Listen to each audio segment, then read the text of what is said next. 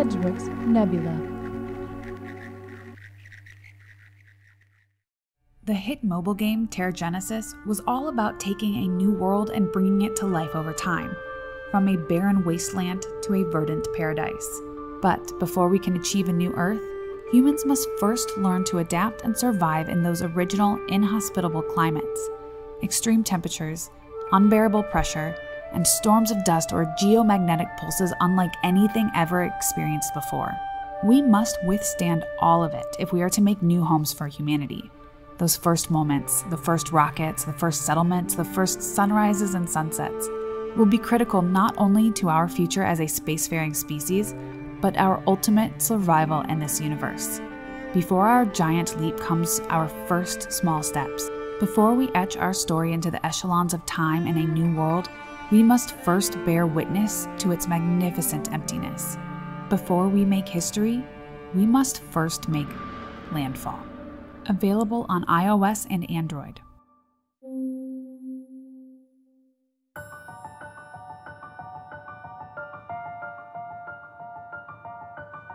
Welcome to Settle the Stars. Hey folks, this is Rachel Emerson, filling in for Lacey Hannon. Last episode, she talked about the constellation Ophiuchus. This week, we'll look at Scorpius, home to the big star Antares and some seriously interesting exoplanets. We'll find out why Scorpius can't play nice with Orion, how the constellation has shrunk in the sky, and why its brightest object is one of the largest stars visible to the naked eye, and so red it's often confused with the red planet.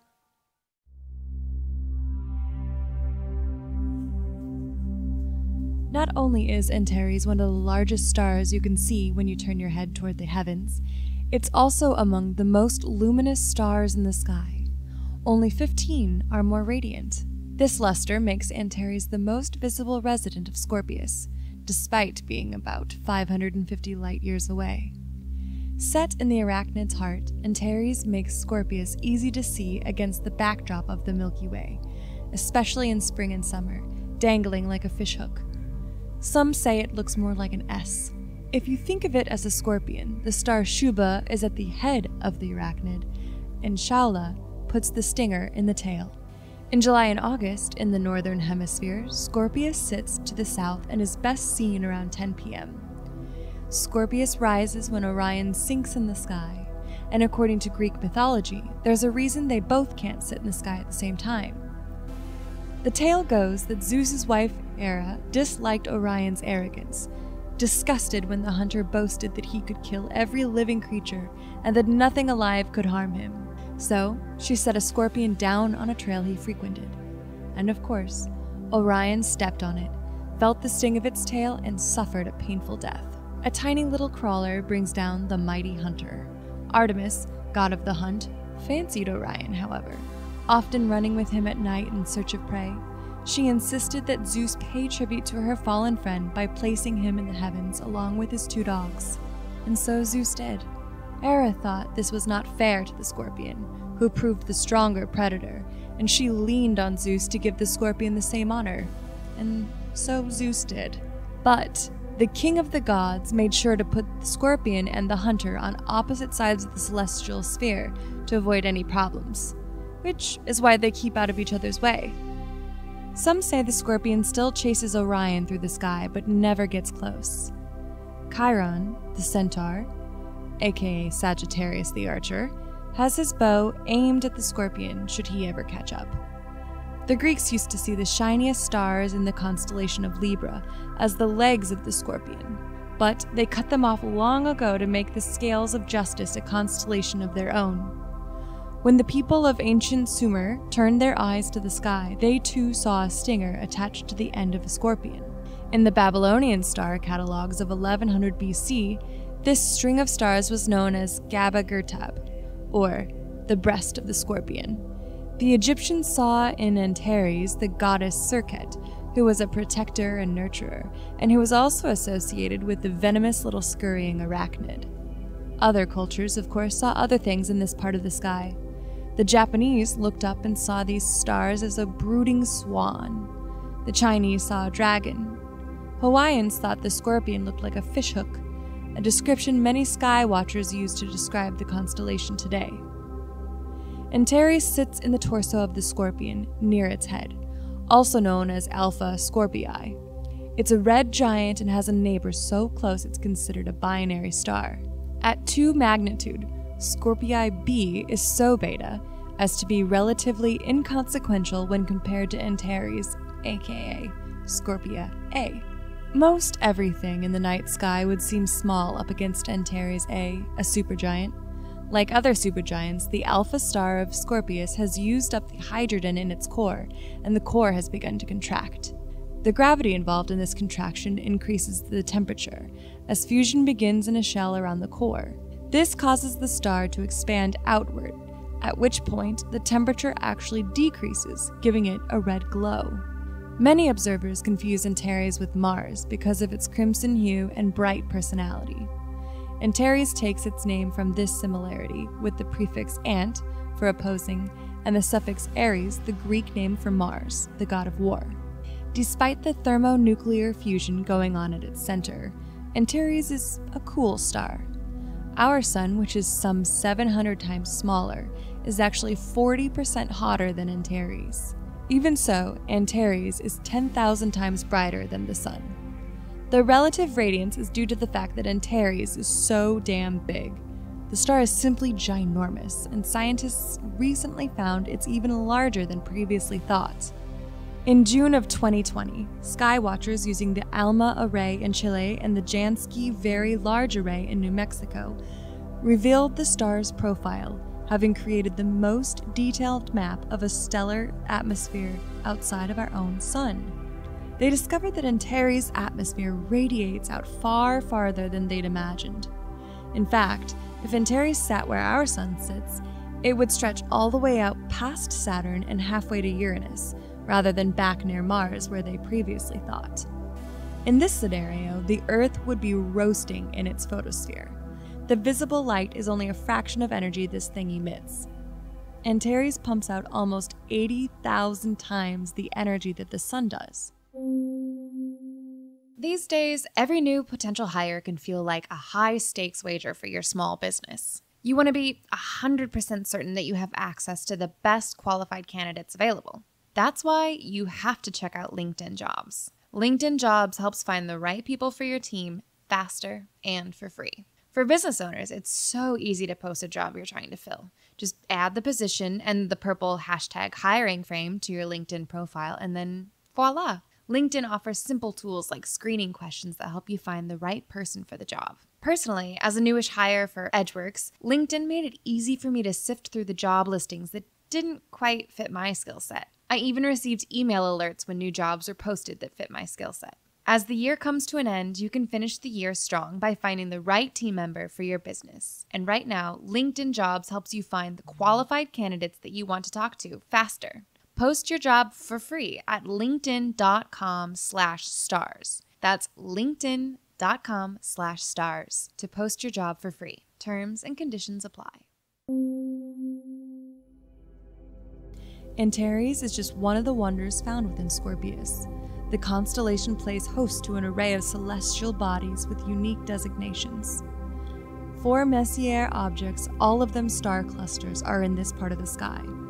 The butterfly cluster, M6, is made up of 80 stars that seem to form the wings of a butterfly, making some of the most striking photos ever taken by a sky telescope. M80 one of the others is almost the densest star clusters in our galaxy. M4 is the closest globular cluster to Earth, at just 5,500 light years away. Sitting next to Antares, it's also among the easiest globular clusters to find, and it was the first globular cluster discovered in which astronomers could resolve individual stars. I just like saying globular cluster.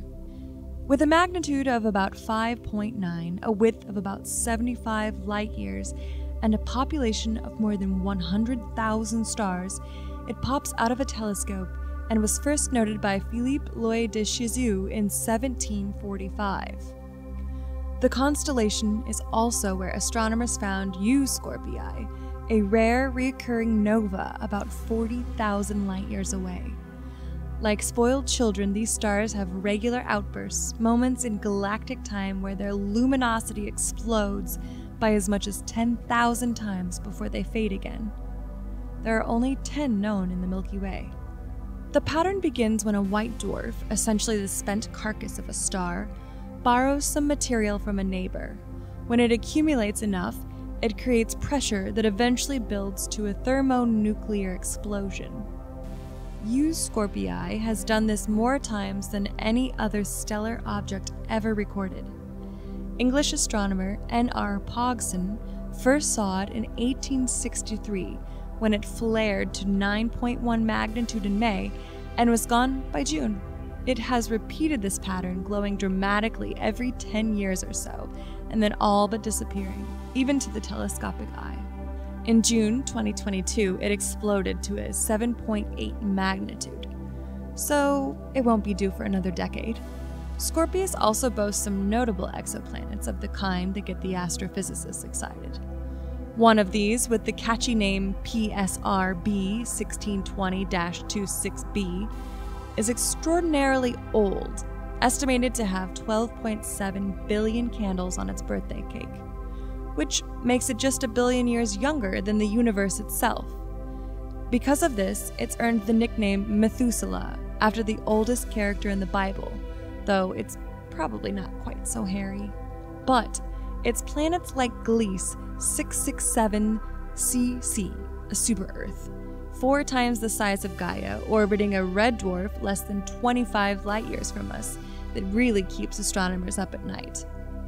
Scientists at the University of Puerto Rico's Arecibo Planetary Habitability Laboratory think it could potentially be a future home for us due to its rocky surface and the possibility of water on it. In fact, in recent years, Gliese 667cc has eclipsed Kepler 22b as the it planet, the most Earth like world outside of our solar system, and perhaps the most hospitable piece of rock out there. Even Hollywood thinks so. In the movie Alien vs. Predator, the planet was the first in the galaxy to be terraformed. So, why so promising? The Institute of Theoretical Astrophysics lists the temperature, which could be a balmy 86 degrees, a future Florida. The planet receives about 90% of the solar energy the Earth does, and water could easily exist under the conditions found here. One side is tidally locked, meaning that it always faces away from its host star, which could cool things. But they've thought that the atmosphere might still be warm enough to allow for life. It's not all sunny, however. Gliese C, the star around which the planet rotates, is likely to emit flares, bursts of hugely powerful energy that could disrupt life. The gravity on the planet would be very heavy, making the possibility of skipping down a sidewalk more difficult and the weight of all that gravity could also create a denser atmosphere that could be less favorable for beach days, or life at all. In 2013, scientists discovered that the side facing its sun could heat up to 300 times hotter than the Earth during some orbits. So put away your towels and sand trowels, further study might be needed. Gliese 667cc is not the only planet in the Gliese star system to be an intriguing future home. Two others, Gliese 667CE and Gliese 667CF, have also been deemed potentially habitable, just not quite as enticingly so. There's plenty to like between the grasping pincers and stinging tail of the scorpion, exciting new worlds, intriguing nebula, old stars, but like the rest of the known universe, it's an ever changing place Thanks to the brightness of Antares, Scorpius is currently very easy to find. It won't always be so. Because of its supergiant status, Antares is sadly dying. Soon, speaking in astronomical terms, it will collapse in on itself, precipitating a massive supernova that will give Earth observers a spectacular show. A tiny neutron will be left as the pumping heart of the scorpion. The supernova may be so intense it will create a black hole and the scorpion's heart will die. But, as one star does, others will be born, and the cosmos will continue to fascinate those of us down here and give us plenty to talk about. We hope you enjoyed today's tale. Join us next time for a look at Hercules.